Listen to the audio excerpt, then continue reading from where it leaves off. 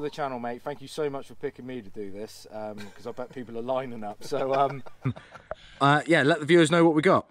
Hi bud, uh, thanks for having me back. Uh, this is the Mercedes Sprinter 4x4 Ape style dubbed Kong. you know, the, the, obviously there's going to be a few issues with that, but this is bullshit. there's having the step where causes an obstruction, but now stop. You've got uh, you've got the space because there's no um, prop going prop shaft going to the to the rear diff, and um, so I don't know what to say. In this vehicle, I've fitted what's called uh, the Smart Floor, and it's made by a German company again, AMF Bruns, and it's an M1 tested uh, floor seat installation.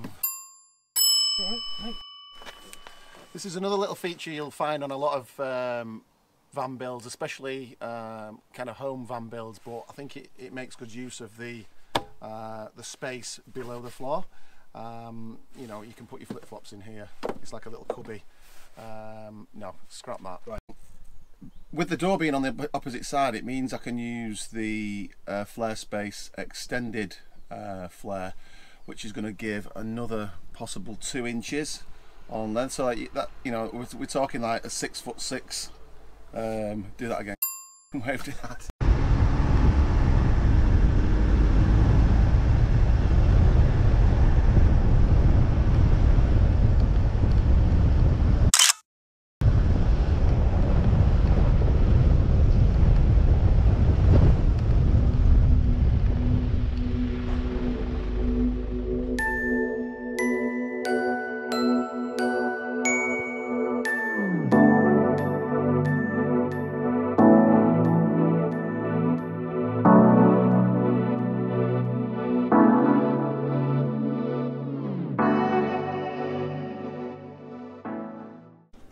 Welcome back to the channel, guys.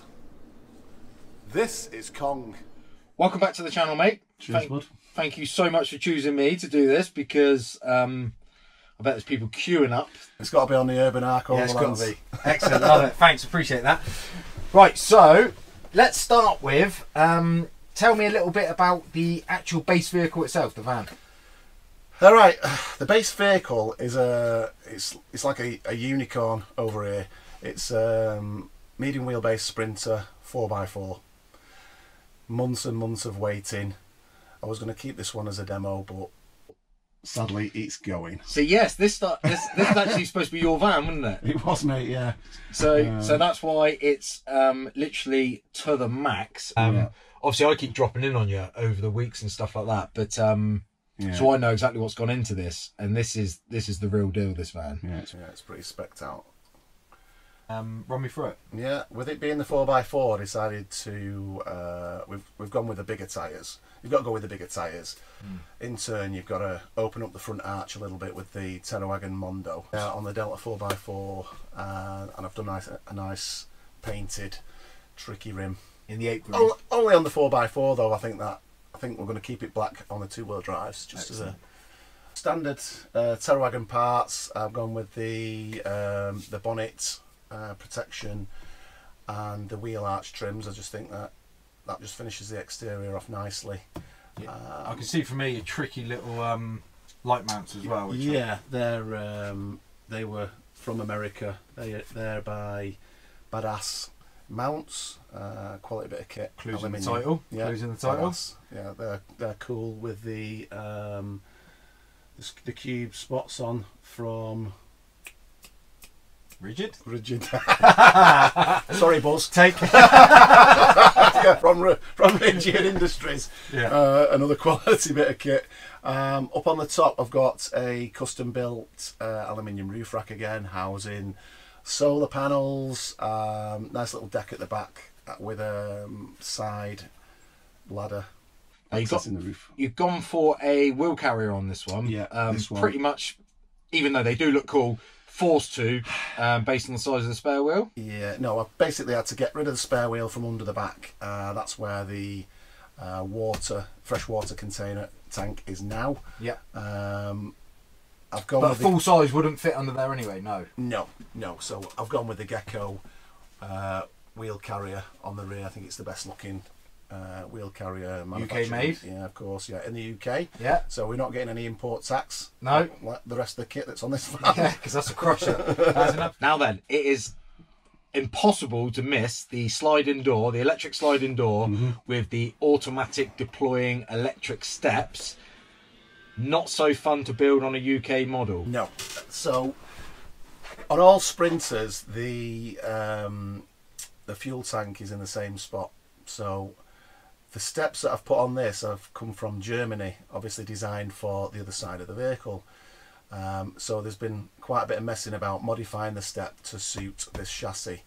Um, it's done. It works. It's perfect, and I wouldn't be without the electric sliding door. Having seen yours on your on your black one, I was going to ask actually. every van you, I own is having that door. could you now have a van, a personal van, without an electric No. sliding door? No, it's a must. No, you can't. Uh, and on the 4x4, the steps that auto deploy when you open the door are just awesome. Um, another necessity, I think, climbing into a 4x4, especially when building them, because I've been in and out of this vehicle quite a bit, so creaky yeah, knees, yeah, creaky knees. definitely at my age. The next two 4x4s that I've got on order, I've decided to go with the sliding door on the opposite side of the vehicle. It's going to solve the step issue and it also gives me an opportunity to use flare spaces extended flare which is going to increase the, the rear sideways bed again um, Yeah, because So- um, on a mid wheelbase, if if you fitted one to this van, sliding door would just crash straight into right, it. yeah, Excellent. yeah another design for the other side of the vehicle so In here on the inside, it feels so spacious, mate. And I don't know, well, I do know how, but with two kitchen galleys, mid wheelbase van, it feels so open and airy. Credit to you, mate. It's absolutely beautiful. Cheers, bud. Talk me through the layout.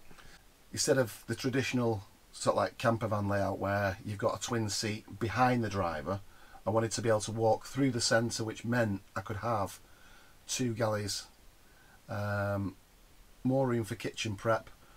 I love the Dometic CFX fridge. I wanted that. I didn't want a front opening fridge. I wanted the proper chest fridge, um, which I've got there. Um, there's more room for the air fryer, which I wanted as well. I wanted to give an air fryer a go um, instead of the traditional sort of like camper van.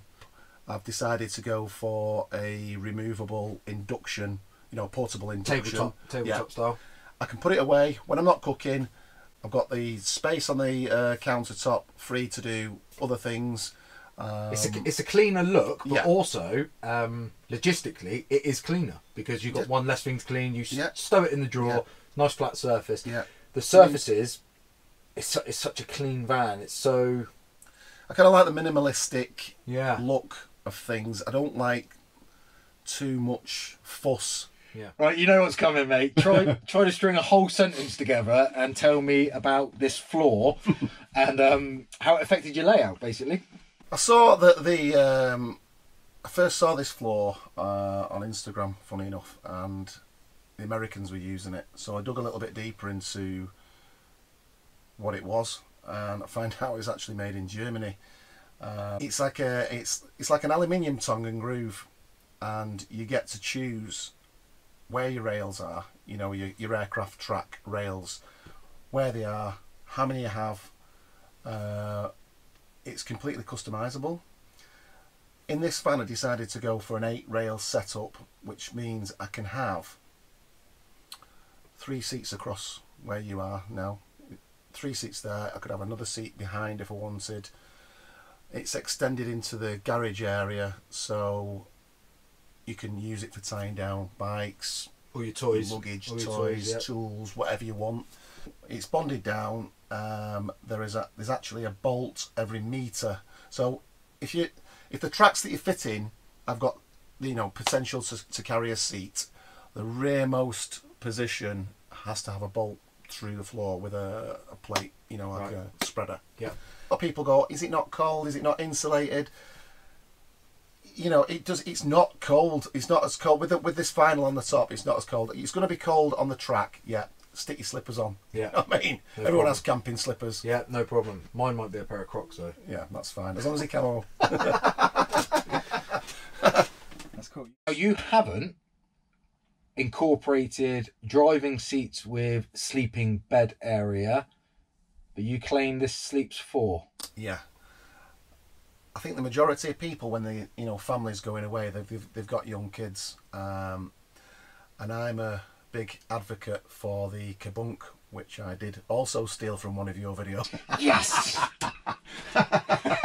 So Rather than trying to squeeze another two beds into an already awesome Yeah. feeling open space, Got ya. the kabunk, the kabunk is a modular. The, kab- the kabunk is awesome. Uh, I've ju- know, literally just literally just brought out a video on that this week. Yeah. Now, one of the biggest points of that is like we went away last weekend when we totally messed up part one of this video. I don't know what you mean. I don't know what you mean. Um, yeah, it's all my fault. but, but but you were on your own, Yeah.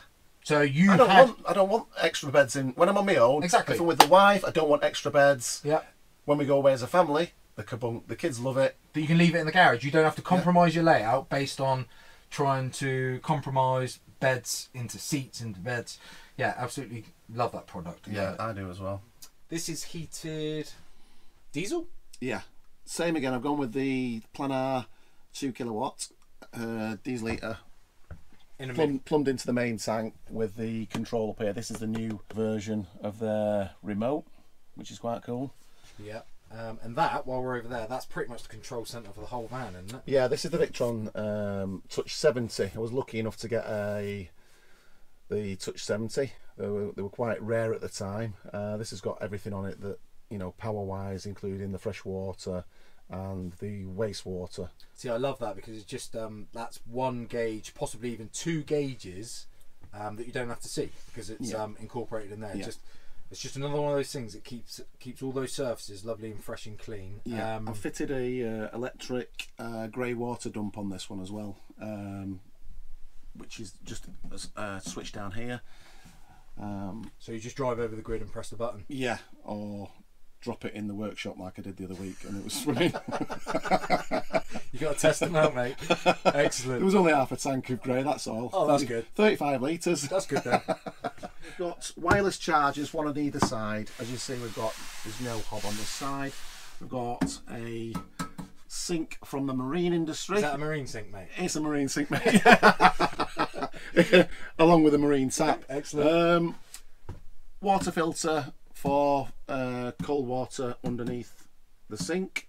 Storage for the toilet down there. One of the Portaloos uh, Thetford 365 will fit in there. And we've got plenty of storage, full extension drawers with uh, phenolic ply bases. Um,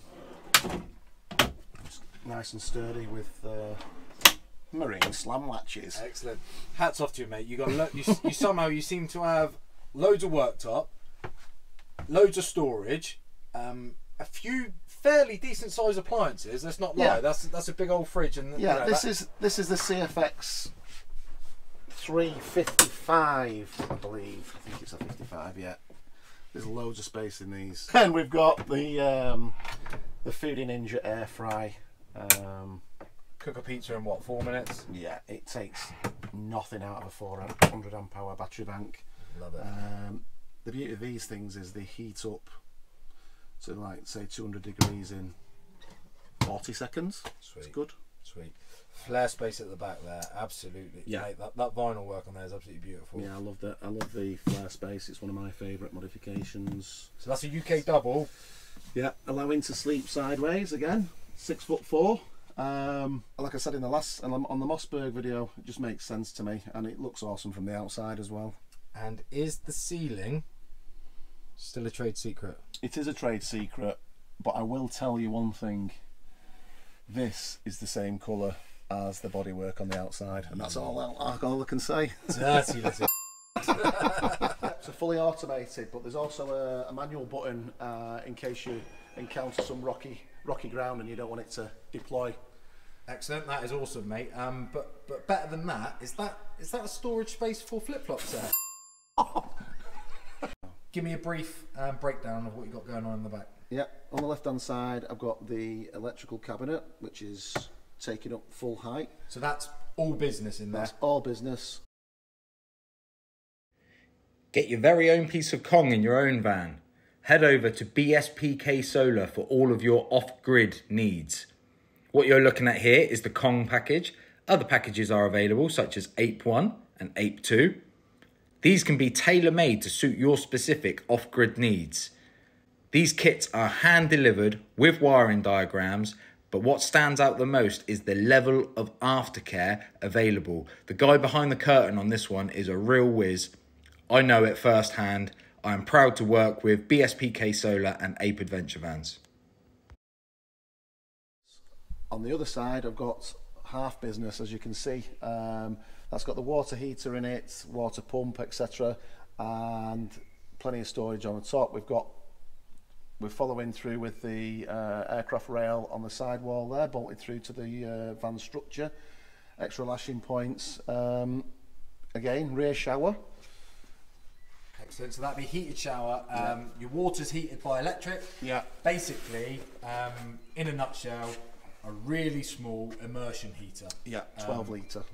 So this this looks absolutely great. The options there, like you said before, tie down points for. Yeah.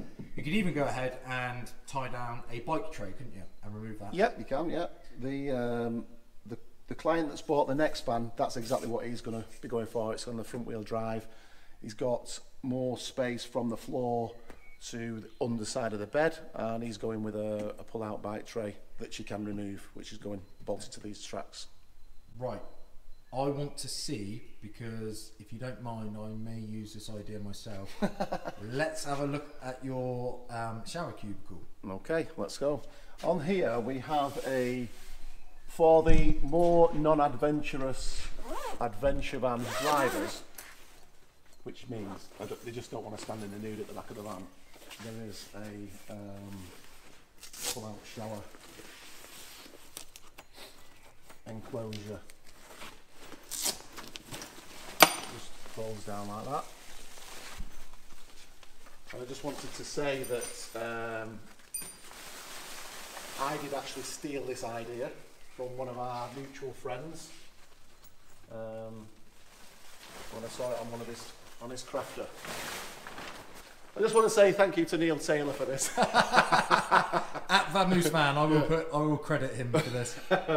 yeah, so awesome bit of privacy. That's absolutely wicked. Pull the shower out, douse yourself down. Job's a good one. Let me have a quick bird's eye view. See, we're gonna have to shout a bit because of the microphone, but you've got loads of space in there, yeah? Loads of room, mate. Loads of room. Excellent.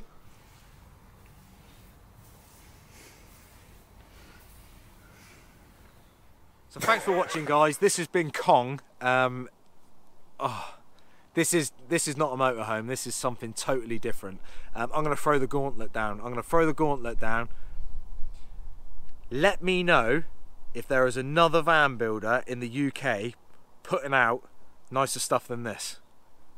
Let me know. Put it put it in the comments. Contact contact me on some of the other socials if you need to. Send me a picture. Send me a link please show me something nicer than this built in the UK.